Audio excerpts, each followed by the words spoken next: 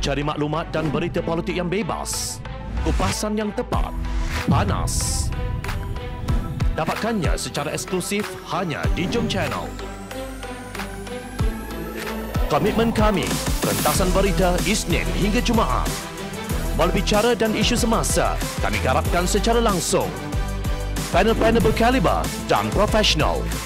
Interaktif, pandangan anda kami raikan. Jangan lupa bersama kami di setiap hujung minggu dalam edisi khas mingguan. Jom Channel, moving forward, sharing a new experience. Bertemu kembali rentasan berita edisi 913. Saya Zawazi Yusof, antara paparan utama. Jakim terkejut amanat Haji Hadi. Bagaimana individu boleh keluar negara sedangkan kes dalam perbicaraan? Tingkatkan pelaburan, move on.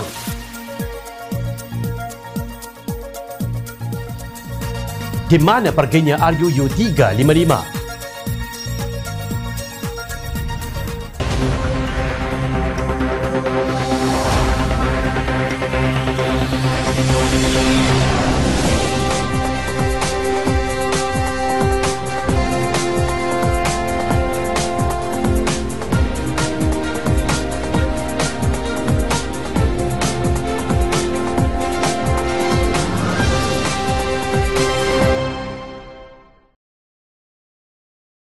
Assalamualaikum dan salam sejahtera. Kecoh dalam media sosial fatwa amanat Hadi dikatakan hilang dari laman sesawang Jakim at MyJakim. Rakyat berhak dan menuntut penjelasan. Sebagai seorang bekas ahli PAS yang pernah didoktrin dengan amanat Hadi untuk menjustifikasi perlawanan dengan AMNO, perkara seumpama ini pastinya membuatkan saya tertunggu-tunggu ulasan rasmi dari pihak Jakim. Bahkan Majlis Fatwa Kebangsaan serta Menteri di Jabatan Perdana Menteri yang menjaga hal ehwal agama sepatutnya turut memberikan penjelasan, kata Syekh Omar Ali yang kini menjadi Ketua Pemuda DAP Dapsi Johor. Beliau mengimbas kembali pengalaman peribadinya bagaimana Amanat Hadi telah memberi kesan besar khususnya dalam arena dakwah serta siasah tanah air. Sebagai orang muda dalam PAS lebih 10 tahun dahulu, kami memahami bagaimana fenomena sembahyang dua imam tidak makan haiwan sembelihan mereka yang bersetuju dengan pemimpin AMNO, memperbaharui semula akad pernikahan dan sebagainya. Amanat Hadi turut memberi impak terhadap budaya takfiri di kalangan masyarakat kita. Ujar ahli Dewan Undangan Negeri Paluh itu. Amanat Hadi merupakan sedutan ceramah Presiden PAS Datuk Seri Abdul Hadi Awang di Kuala Terengganu pada 7 April 1981. Mufti Perlis Datuk Dr. Muhammad Asri Zainul Abidin menegaskan bahawa Majlis Fatwa Kebangsaan sudah melaksanakan tugasnya dengan mengisytiharkan Amanat Hadi sebagai sesat. Amanat itu nyata sekali mengisytiharkan perlembagaan negara ini sebagai kafir dan rakyat harus berjihad terhadap mana-mana orang yang berpegang pada perlembagaan perniagaan. Kandungan amanah itu jika ia dilaksanakan akan menjadi lebih berbahaya daripada kepercayaan pengikut IS sekarang.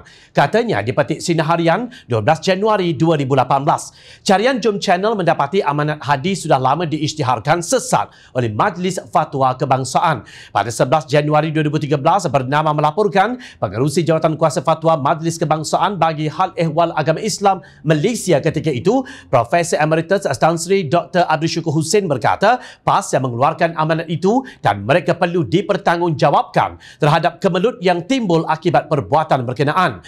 Pada 21 November 1984, Majlis Fatwa Kebangsaan memutuskan amanat Hadi bertentangan dengan Islam.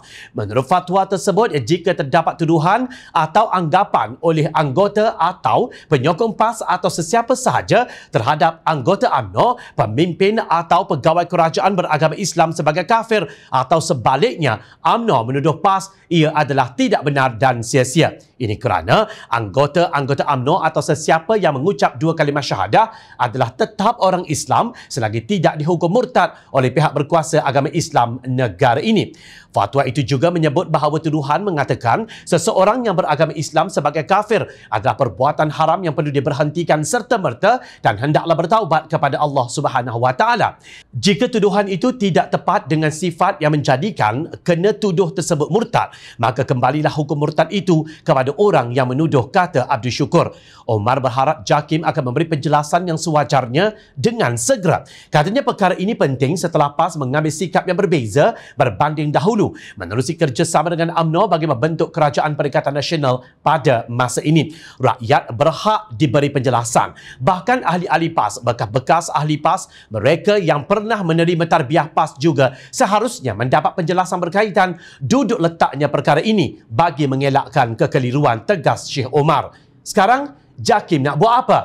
Menurut laporan Malaysia kini, Ketua Unit Komunikasi Korporat JAKIM Zakaria Osman berkata pihaknya akan menyemak dakwaan berkaitan fatwa berkenaan. Kenyataan Zakaria itu membayangkan seolah-olah fatwa amanat hadi yang hilang dari ad My JAKIM itu di luar pengetahuan pihak pengurusan institusi Islam tersebut. Maknanya telah berlaku salah guna kuasa seorang individu yang bermain politik kotor di dalam JAKIM untuk mengubah sejarah. Ini amat memalukan sebuah institusi Islam yang sepatutnya mengamalkan integriti dan tahap profesionalisme yang tinggi dan tidak memihak kepada mana-mana parti politik. Perbuatan memadam fatwa tersebut amat tidak cerdik kerana hakikatnya peristiwa amanat hadi tetap berlaku. Bagaimanapun, yang lebih tidak cerdik dalam isu ini ialah UMNO kerana setelah dikafirkan, tiba-tiba berpelukan dengan menuduhnya kafir. JAKIM hendaklah mengambil tindakan tegas terhadap individu yang terbabit dengan salah guna kuasa dan memalukan Islam itu. Apapun, dapatkah tangan yang memadam fatwa amanat hadi tersebut menghapuskan semua data dalam dunia cyber berhubung dengan sejarah yang sudah terlakar itu? Amanat hadi telah difatwakan sesat dan akan kekal begitu buat rujukan umat Islam seterusnya. Sejak bila individu yang masih ada kes dibicarakan di mahkamah dengan mudah dibenarkan untuk keluar negara? Itulah keajaiban yang berlaku dalam kerajaan perikatan nasional. Tidak malukah orang Malaysia apabila ahli parlimen yang kes jenayah dia di mahkamah belum selesai dan pasport ditahan tiba-tiba diluluskan permohonannya untuk keluar negara atas satu misi kemanusiaan? Soal ahli parlimen Hulu Langat, Datuk Ustaz Hasanuddin Muhammad Yunus dalam satu kenyataan. Beliau berkata semua mengetahui masih ramai tokoh NGO dan pejuang kemanusiaan yang lebih berkaliber yang mampu melaksanakan tugas berkenaan. Sedangkan di kali ini rakyat yang tidak berpuas hati memberi pelbagai gelaran seperti kluster kayangan kepada golongan VIP yang mendapat layanan istimewa berbanding rakyat biasa. Nampaknya bila kenal rapat dengan semua warlords, semua jadi mudah dan lulus ujar beliau. Beliau turut mempersoalkan sama ada kes ini akan membuka amalan baharu. Jelas perkara ini menunjukkan sesiapa sahaja yang masih ada perbicaraan di mahkamah akan dibenarkan keluar negara walaupun untuk sebuah misi kemanusiaan yang boleh dilakukan oleh orang lain. Hasanuddin dipercayai merujuk kepada ahli parlimen Baling, Datuk Seri Abdul Aziz Abdul Rahim yang diberi kebenaran untuk keluar negara bagi mengetuai misi Humanitarian Mission for Palestine HM4P Al-Quds dan Gaza. Ketua Pengarah Immigration Datuk Khairul Zaimi Daud berkata Abdul Aziz telah mengemukakan permohonan untuk melaksanakan misi berkenaan beserta dokumen lain seperti surat sokongan daripada Wisma Putra dan surat pelepasan daripada Mahkamah kepada Immigration. Menurut beliau, permohonan itu telah diluluskan jawatan kuasa khas bersama Menteri di Jabatan Perdana Menteri Undang-Undang Datuk Seri Takuyuddin Hassan dan Menteri Dalam Negeri Datuk Seri Hamzah Zainuddin yang menilai permohonan tersebut berdasarkan bantuan kemanusiaan. Tiada isu kerana beliau mengemukakan permohonan beserta surat sokongan yang berkaitan. Katanya seperti dilapor bernama.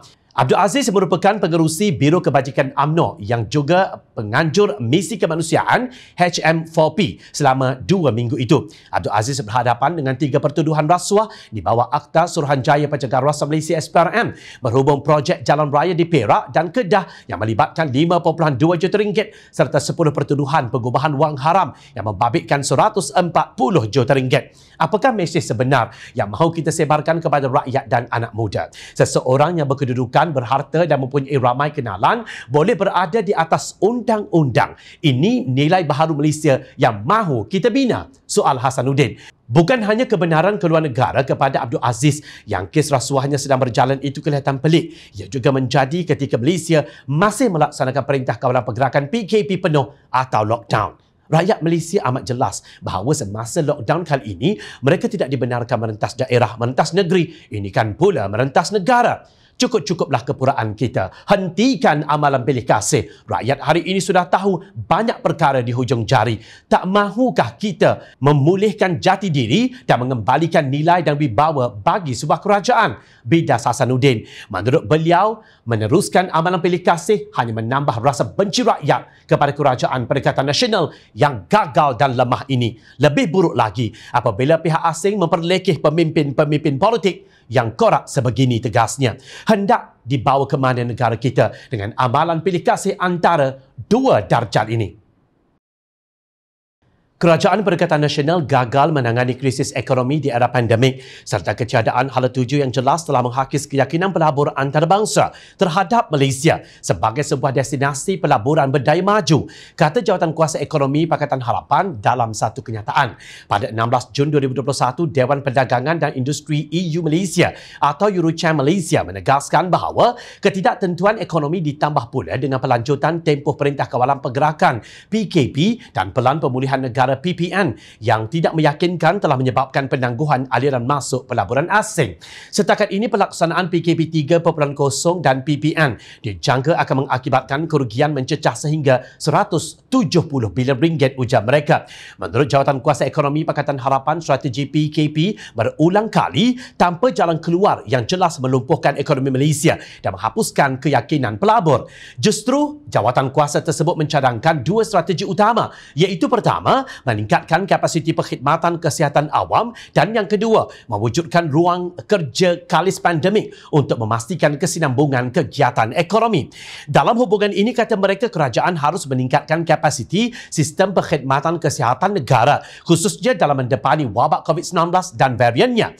Ini termasuklah bekerjasama dengan sektor swasta sebagai sebahagian daripada pendekatan whole of society dalam usaha melawan wabak ini. Sementara itu, infrastruktur kesihatan awam perlu dipastikan mampu untuk menangani kes-kes positif yang dijangka terus tinggi terutamanya kapasiti fasiliti unit rawatan rapi ICU untuk kes-kes kronik. Selain itu, kerajaan boleh mempertimbangkan untuk membina pusat rawatan khusus untuk COVID-19 bagi mengurangkan beban hospital sedia ada. Bagi cadangan kedua pula memandangkan bilangan kluster tempat kerja yang tinggi. Terutamanya daripada sektor pembuatan kerajaan perlu mengambil inisiatif untuk mengawal penularan wabak tersebut di kilang-kilang dan juga di kuartus pekerja.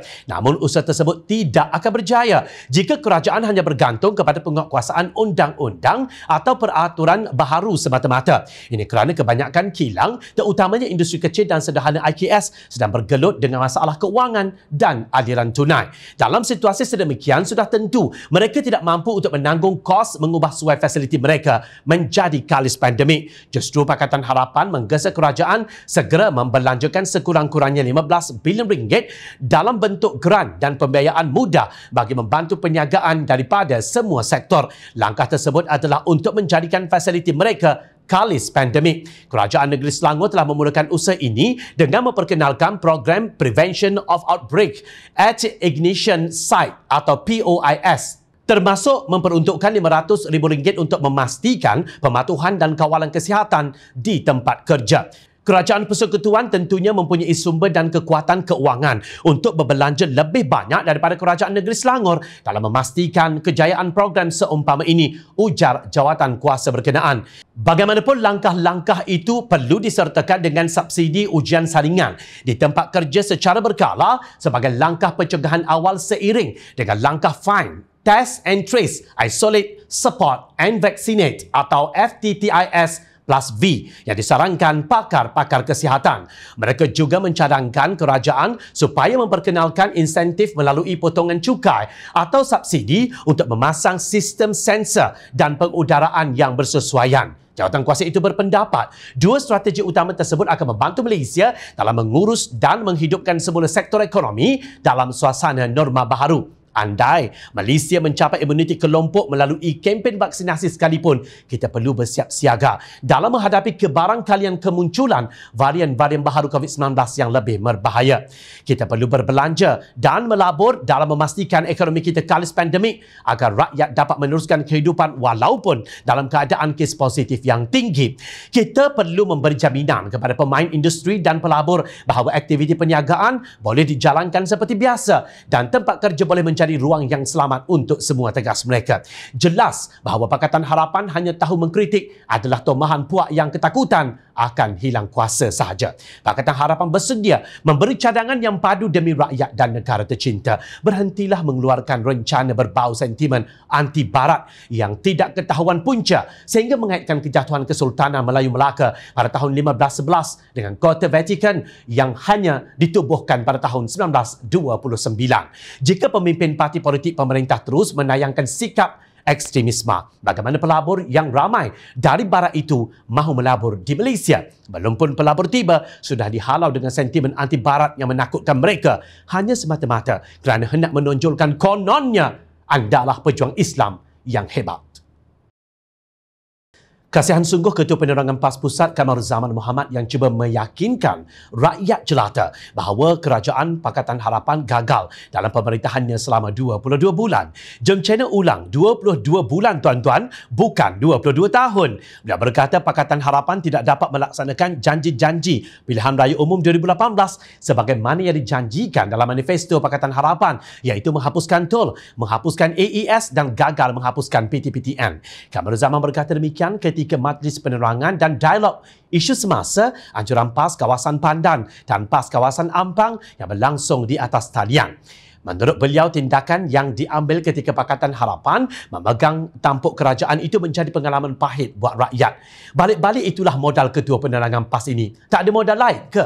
Kononnya ketika Pakatan Harapan menjadi pemerintah, tindakannya menjadi pengalaman pahit rakyat. Agaknya, beliau tidak pernah pergi ke pasar untuk melihat harga barangan, khususnya minyak masak RM33.88 bagi 5 kg botol berbanding di zaman kerajaan Pakatan Harapan yang hanya RM16 RM88. Beliau juga tidak sedar bahawa cabutan khas empat nombor ekor telah kembali kepada 22 kali setahun setelah diturunkan oleh Kerajaan Pakatan Harapan kepada 8 kali sahaja. Kerajaan Pakatan Harapan tidak sempurna tetapi itu tidak bermakna ia kerajaan yang gagal. Tetapi sedarkah tuan-tuan menteri yang gagal ketika berada dalam Pakatan Harapan itu kini berada dalam kerajaan Perikatan Nasional? Beliau tidak lain dan tidak bukan tentunya Menteri Hal Ehwal Ekonomi Pakatan Harapan yang kini memegang jawatan sebagai Menteri Perdagangan Antarabangsa dan Industri MITI Datuk Seri Muhammad Azmin Ali. Begitu juga Ketua Penerangan Bersatu Wan Saiful Wan Jan yang memegang jawatan sebagai pengerusi PTPTN. Beliau masih ada di situ memegang jawatan yang sama. Dan jangan lupa PAS dalam manifestonya juga berjanji akan melupuskan hutang peminjam-peminjam PTPTN sedia ada sebagai inisiatif permulaan ke arah memberikan pendidikan percuma. Sekarang sudah lupus atau belum? Apa yang kita nampak sekarang ialah generasi yang hilang peluang pendidikan dan kerjaya selama dua tahun kerana kerajaan Perikatan Nasional gagal menguruskan pandemik COVID-19. PAS juga berjanji mahu meluluskan pindaan Akta Mahkamah Syariah Bidang Kuasa Jenayah 1965 atau lebih dikenali sebagai Akta 355 ke arah memartabatkan syariah dan menaik taraf Mahkamah Syariah yang diyakini dapat mengekang industri maksiat. Ini selaras dengan manifesto PAS 9.6 iaitu pengharmonian sistem perundangan dan tabik urus negara selaras dengan kehendak syariah. Dan yang paling kelakar dalam membentuk kerajaan berintegriti dan amanah PAS mahu menggubal akta baharu berkaitan dengan dana dan pembiayaan politik bagi membantras amalan politik wang yang merupakan antara punca utama berlakunya rasuah dan salah guna kuasa. Agaknya, scheme of things iaitu pemberian jawatan menteri dan dalam GLC sama ada sebagai pengerusi atau ahli lembaga pengarah itu bukan amalan rasuah. Mana perginya RU355? Teruskan menepuk air di dulang. Agaknya kemuka siapa air itu akan terpecik. Rakyat sentiasa memerhati.